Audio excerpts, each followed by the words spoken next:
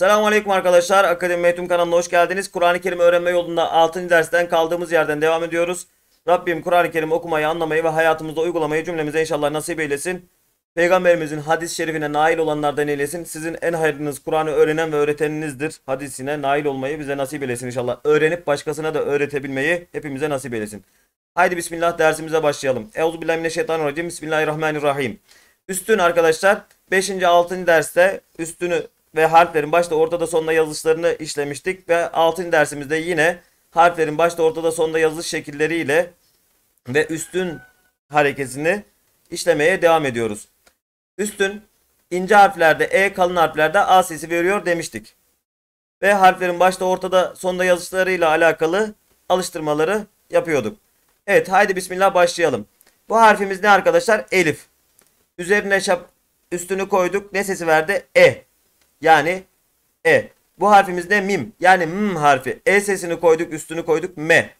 Eme. R harfi yani Ra harfi. Üstünü koyduk. A kalın harfi olduğu için Emera. Emera. Emera. Emera. Emera. Emera. T harfi. T harfi yani. Üstünü koyduk. T. R harfi. Üstünü koyduk. A. R, T, Ra. Kef harfi yani K. E sesini koyduk. K. Terake. Terake. Terake. Terake. Birleşmiş hali. Terake. Terake. Bakın Ra harfi burada kendisinden sonrasıyla birleşmedi. Elif harfi kendisinden sonrasında birleşmedi.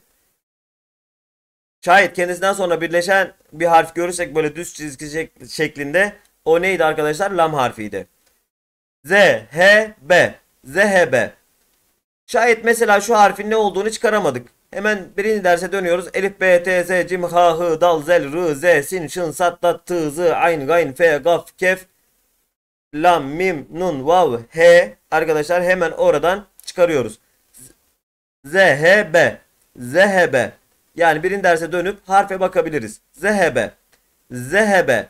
Zehebe. Zehebe. Me. Ne. A. Mena'a. Mena'a. Mena'a. Mena'a. Birleşmiş hali bakın. Kuyruğunu attık. Mena'a. Mena'a. Ha. Te. Me. Ha. Te. Me. Bakın kuyruğu gitti. Hateme. Hateme. Hateme. A. B. S. Abese. Abese. Abese. Abese. Abese. Bakın ayın kuyruğunu attı. Başta ortada, ortada sonda yazılış şekillerinde arkadaşlar harfler kuyruğunu atıyor demiştik. Sonda kuyruğunu geri alıyor. Abese. Abese. Sa. Be. Ra. Sabera. Sabera. Sabera. Sabera. Sabera. Sa. Be. Ra. Zaleme. Zaleme. Zaleme. Zaleme. Zaleme. Be'ase. Be'ase. Be'ase. Be'ase. Be'ase. Rafa'a. Rafa'a. Rafa'a. Rafa'a. Zekera. Zekera. Zekera. Zekera. Zekera. Zekera. Dehale. Dehale. Dehale. Dehale. Dehale. Keteme. Keteme. Keteme. Kef harfi k- yani E sesini aldı K. T harfi E sesini aldı T. M harfi E sesini aldı M. Yani keteme. Keteme. Sin harfi yani S harfi arkadaşlar E sesini aldı S. H harfi E sesini aldı H yani SH. R harfi yani A sesini aldı kalın olduğu için Sehera. Sehera. Sehera. Sehera. Sehera. Şöyle karışık gidelim. Sehera. Bunu okuyalım. Zekera. Hemen yandan bakabilirsiniz arkadaşlar. Keteme. Dehale. Rafa'a. Be'ase. Biraz bekliyorum ki arkadaşlar siz okuyun. Rafa'a. Be'ase. Sabera. Zaleme. Abese. Hateme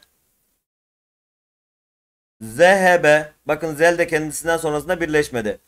Mena'a mena'a terake emera. Arkadaşlar 4, 5, 6. derslerde biz aslında harflerin hem üstünü üstünle alakalı alıştırmalar yaparken hem de başta ortada sonunda yazılış şekilleriyle alakalı alıştırmalar yapmış olduk. Bundan sonrasında artık gerisi daha hızlı ilerleyecek inşallah. Rabbim Kur'an-ı Kerim'i öğrenme yolunda hepimize aşk, şevk versin, sabır versin, azim versin. Kur'an-ı Kerim'i öğrenmeyi, öğretmeyi, hayatımızda uygulamayı, yaşamayı cümlemize inşallah nasip eylesin. Bir dersimizin daha sonuna geldik. Bir sonraki derste görüşünceye dek kendinize çok çok iyi bakın. Allah'a emanet olun.